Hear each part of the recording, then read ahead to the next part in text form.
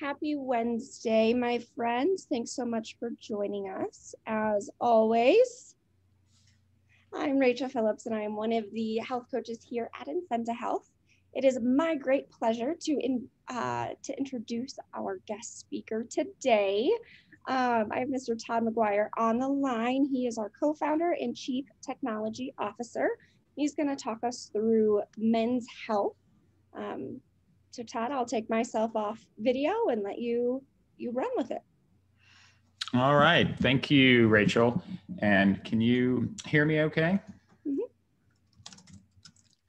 Excellent. Well, I, I appreciate um, being invited as a, a guest host today during um, Men's Health Month. It's kind of fun.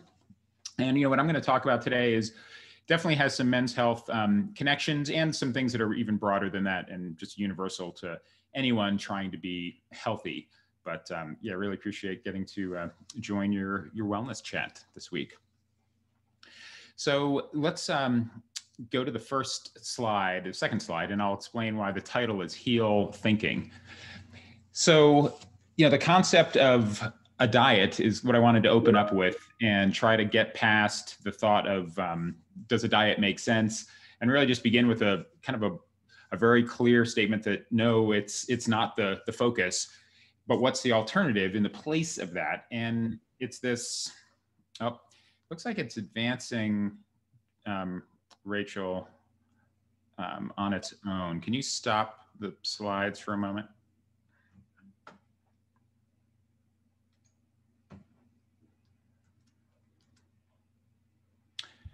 Yeah, it's, I think if you e exit the presentation mode, we just need to um, figure out why it's it's going automatically. Yeah, if you go into, hey Rachel, if you go into um, the the slideshow tab under PowerPoint and it says there's a checkbox in the middle that says use timings, it looks like that's probably turned on. Do you see that checkbox?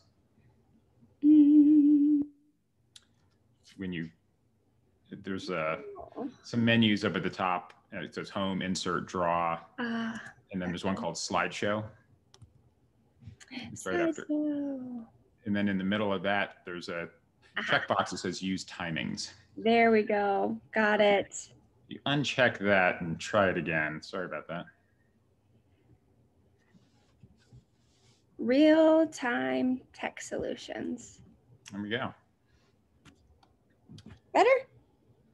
Yeah, yeah. So it, um, yeah, it looks like it's it's stable now. Okay, perfect. Thank you. But that's good. You know, it's a good example of of trying to to be healthy. You know, it's it's a real time problem solving battle every day. You know, I, I always kind of joke about it. It's like brushing your teeth. You know, the the results don't last, so we recommend it daily. I think nutrition and exercise and and trying to to be healthy is the same thing. You don't get it off. You never get to check it off your um, to do list because it's it's always going to be on there. And I think that's a good um, kind of real world segue into like why this first slide up here is talking about a diet. And if you advance, um, Rachel, you know, the, the idea is you can't think of it as a diet because that's typically short term. It's a, that's something you're going to try for a while and you can never stay with it if you're in this extreme deprivation mode about just about anything over time it's just going to um, weaken you to the point where you're going to give up and you're say i can't sustain this. This this worked for a little while but it's just too much. So the alternative on the next slide is this concept of heal and i love this acronym healthy eating and active living and you know what I wanted to talk about today is just some kind of fundamentals in here around healthy eating and active living, really as a mindset. You know, this heal mindset is a way to set yourself free from the concept of being on a diet and doing things that are unsustainable, and instead learning a way to just be a bit more um, healthy in how you approach each of the meals, each of your opportunities for movement throughout the day, and not feel like you're you're doing something that's cheating yourself or depriving yourself, but you're just getting smarter about how you uh, how you feed yourself and how you move your body. So if you go to the next, you know, it kind of um, starts with this question that we we see a lot talking to our members around nutrition or exercise, and you know which one is, is more important. And if you click on this, um, Rachel, you know the the answer is is kind of um, it, it's kind of a trick question. I think if we click one more time, it should come together. Yeah. So it's really, it, it's not an or question, it's an and question. You know, each one, the, the nutrition side and the movement side serve different purposes. They work together and you can make progress doing just one of these two things, but you really can um, double your efforts and just get into a, an automatic habit mode when you combine both of them. And it really can be um, pretty powerful. So let's advance to the next. So starting on the, the healthy eating side of the HEAL acronym, you know, portion distortion alone is probably the, the biggest thing that is lurking out there and um, causes us as grief. You know, if you look at the example of the Chipotle burrito here, where it's it's kind of misleading because that burrito um, has great ingredients, organic, um, you know, different veggies and lean chicken breast, and you know, has a lot of good stuff that each by itself is is healthy and is fine, but the quantity of it is just too much. You know, if you go and get a classic chicken burrito and and you say yes to a lot of the questions they're going to ask you when you walk down that um, assembly line in Chipotle, you're going to walk out of there with a 1,200 pound or 1,200 calorie um, burrito. Sometimes it feels like 1,200 pounds.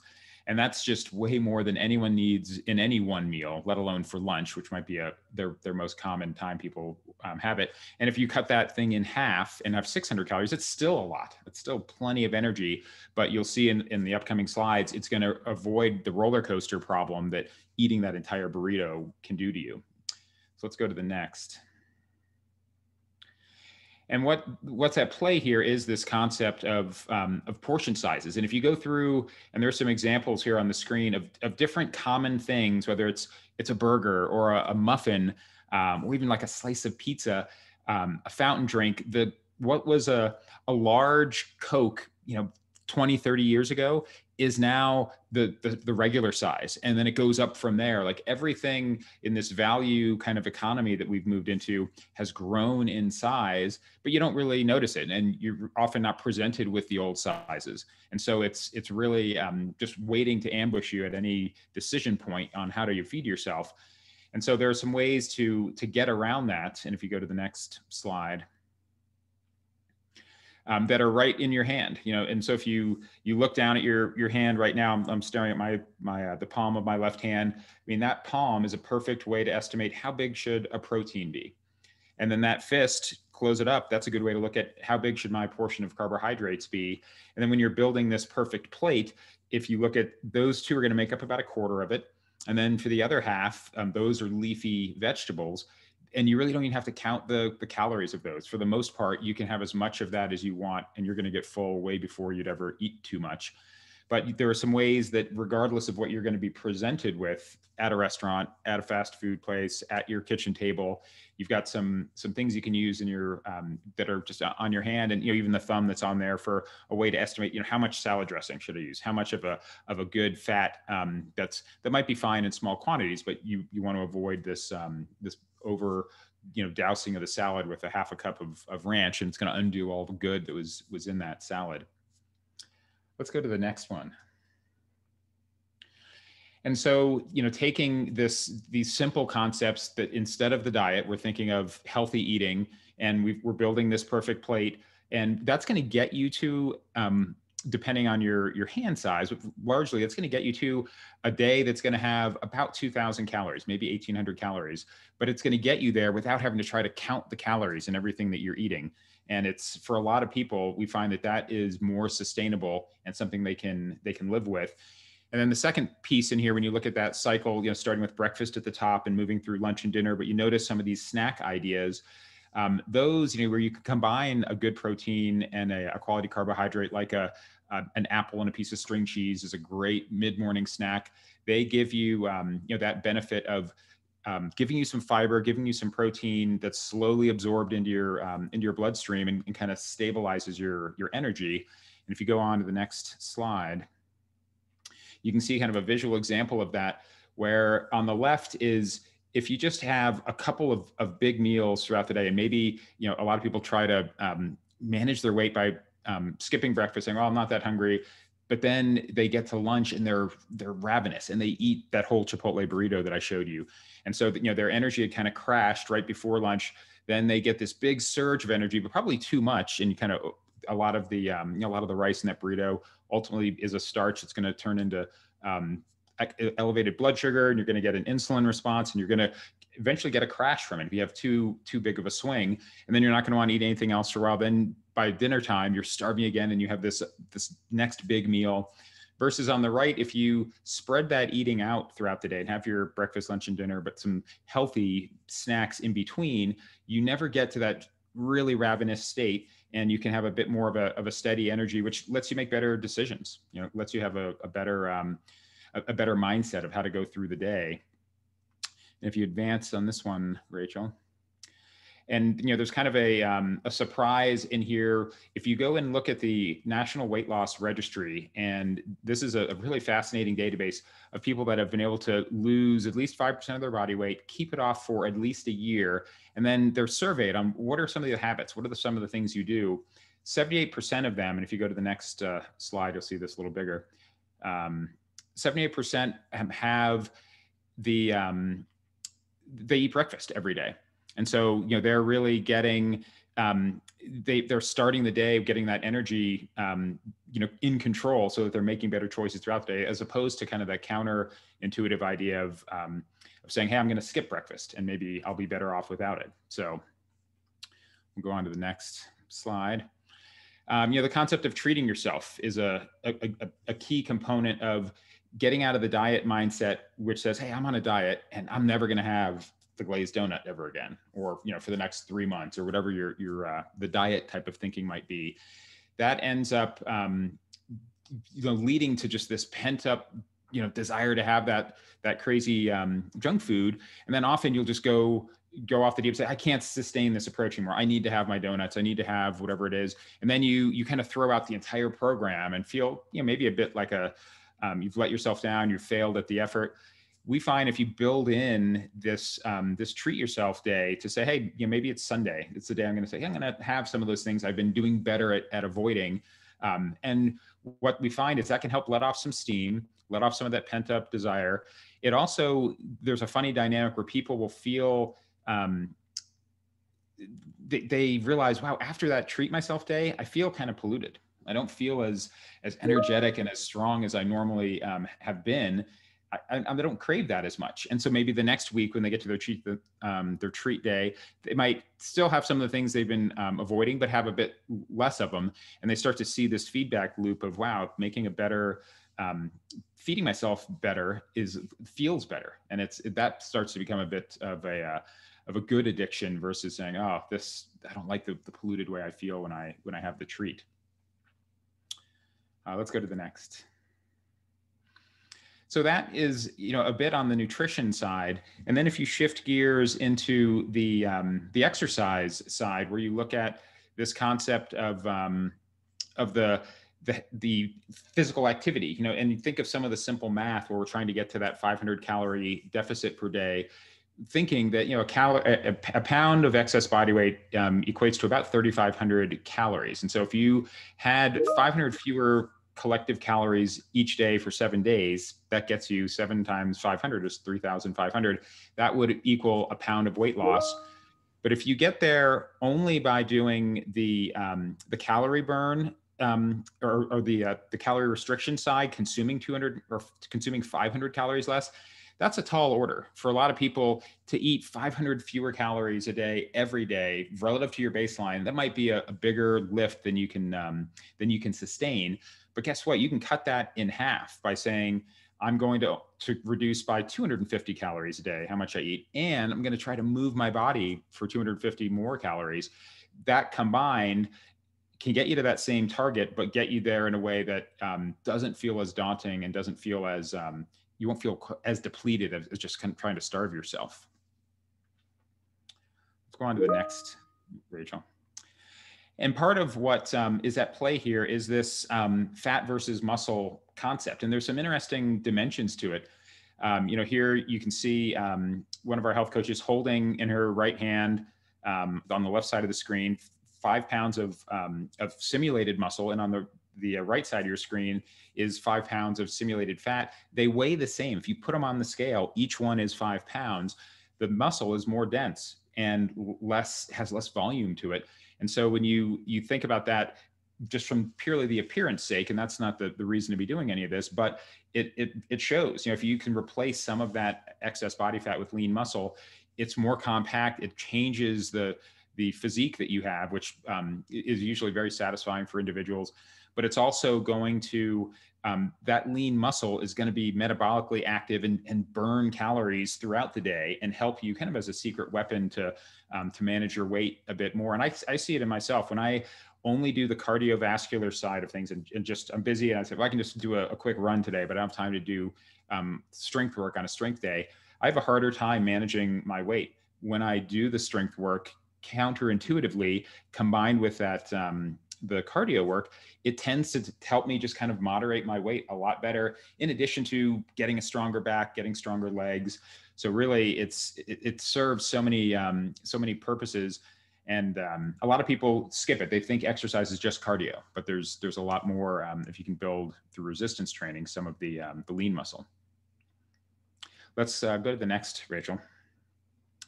And so this is, you know, trying to, to get those two halves and, and make sure you, you think both ways about cardio versus strength. We can advance from here. And so if you look, um, you know, this will play a little, um, Next a little up, clip. standing curls. For standing we'll bicep you... curls, you will need a set of dumbbells.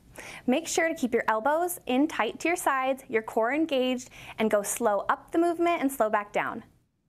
Get ready. Let's go. One, two, three, four. And so in that example, you know, and that's kind of working upper body and working the muscles on the front of your arm and some of your back muscles. Um, and and you can do these with with weights. You can do them with milk jugs. You can do them with resistance bands that we um, we send to our members. Um, and we'll, you know, we, we show people how to do that. You can see this intensity level here between a level one and a level five. So it doesn't even matter how much weight you have. And um, it's more about what's the exertion for you from level one of just sitting on the couch and not doing anything to a level 10 being, this is all I can handle with good, safe form. We gradually will, will progress you through this, um, this sequence, which will help you build that lean muscle. And then when you alternate it on the days and do your cardio, it really is a, a powerful one-two punch. Uh, let's go to the next. Next up. Um, and you know and getting people into this you know most people begin in the foundation level they start in the beginning um, and all we do as we progress people if they go to intermediate or advanced is we add more days but the beginning is just two cardio two strength and and that's usually enough um, and there's definitely a, a, myth if you go on to the next slide um, rachel you know there's a myth that you're going to um, just become you know look like a bodybuilder if you do the, the strength work. And, and we often hear that you know this is an interesting you know men's health month type of concept but we hear that a lot from our our female participants saying i don't want to to be to look like a bodybuilder. And it really is um, is not going to happen. Without a lot of really really intense focused effort to to um, to build those muscles to that level that really that'll never happen accidentally and definitely not in the, the, the level that we're we're coaching in our program. But what we have seen is people go through these fascinating transformations when they they work on healthy eating they work on the active living and the active living isn't just going for a walk which is fantastic but that and the strength work um, people talk about you know, my back pain has gone away. My back is stronger. My legs are stronger. I don't feel as um, as sore in the back when i when i have to sit in my desk chair throughout, throughout an eight hour day. So um, you know we know that that combining those together um, really can work and and work for for men and women. Let's go on to the the next and then this is just kind of some reminders. If you skip this one, um, I'm James. Wanna, some questions have come in. I want to be able to answer any of those. But you know, in in our um, in our coaching, you know, we're we're giving all the options for. Do I want the gluten free? We just launched a Mediterranean um, eating pattern that's really um, got a lot of heart healthy stuff in it. Um, if you go on to the next slide, you know, we're giving out the shopping list every week um, showing the, the, videos of how to do these things, particularly like this one, doing it, that arm exercise using a band so that you can do this at home and, and really get, get moving. And some of the movements that are in there, like squats, that you don't need any exercise. And you can just do it just body weight movement done slowly and in control can really be challenging number one but you'll feel it the next day. You'll feel a little bit of, of uh, tightness in your legs for instance. If you haven't been doing um, good proper form squats but it's amazing that that tightness and that little bit of um, pain you know they call it delayed onset muscle soreness but that's the sign that you're moving a muscle that normally isn't being taxed and it's going to get stronger and the, the neat thing i always think about is that feeling of of um, of tenderness when you kind of tap a muscle at the day or two after you've done a workout for the first time, typically a strength workout. That's the um, that's the sign that your your muscles are starting to adapt, and it's saying, "Ooh, I better be able to do that next time."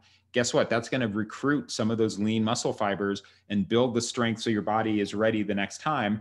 And I always tell myself, "Hey, that's the signal that it's working," and that's part of that um, that caloric burn. Is it takes body energy to to build that muscle and to do the repair work that happened from doing some of the strength training. And so try to get that in your head as a good feedback signal that you know what i'm supposed to feel a little tender from this the next day and i'm not talking about like my joint hurts and i've i've strained something i'm talking about more just the general muscle um, feeling once you've you've gone through and done something new uh, you can continue. I think we're about at the end. Yeah, and the audio guides, um, the same thing in here. You know, for the the cardio days, if you haven't used it, you know, plug in your earphones and listen to our health coach take you on a 10 minute walk or a 20 minute run, telling you when to speed up, when to slow down. Um, you know, really, we want to hold your hand on on that journey. We can. Hi, I'm Coach Kenna, here to lead you you can yeah click through. And then on the um, on the activity side if you're one of the tracker types if you, you wear a fitbit or an apple watch or a garmin um, and you haven't um, linked it up yet i encourage you to do that. It's it's neat to see um, you know we'll give you all the patterns of what's happening and bring it all under that same um, that same umbrella of, of all the other components in the uh, in Health uh, experience and I think that might be the last one. Oh, I think I had meditations in here just as a as part of that um, that overall mindset. You know, the focusing on what you eat, focusing on your exercise. Those are all key. But we've got some great meditations that you can listen to. Some of them on healthy eating and on um, paying attention to. Um, one of the meditations says you put a, a grape or a raisin in your mouth and leave it in there for 30 seconds while you're you're really being aware of the texture and the flavor and that can go a long way in terms of shifting you know from i'm going to eat my meal in front of the tv and be distracted and not even know what i'm doing versus no this is the event is having this meal. Let me taste it. Let me slow down. Give your your stomach and your brain a, a chance to catch up to each other and, and feel um, feel like you're full. You know there's a neat um, quote in japan that they say hara hachi bu and that means, and they do it as a toast before a meal. And that means eat until you're 80% full. And they, it's kind of funny the first time I encountered it, but they say that because they're trying to remind themselves, hey, I'm about to tuck into this big plate of whatever. And the temptation is to get all the way through it because it smells so good and I'm really hungry. But stop when you think you're you could eat more and give yourself 20 minutes. You'll probably feel fine and, and even better than that bloated feeling. So I think that's probably the last one, uh, Rachel. If you if you click ahead yeah, that was just going to play a sample. So those are that that's what I wanted to, to bring up today. And you know, these are just some examples of people that have um, kind of gone through this and and taking some of these healthy eating, active living principles to heart, and uh, men or women. And um, just wanted to, to, share some of those things. I don't know if there were any uh, questions, Rachel. It doesn't look like we have any in the chat, but for those of you on the line, um, feel free to put those in the chat, take yourself off mute, whatever's easiest if you have any questions for Todd.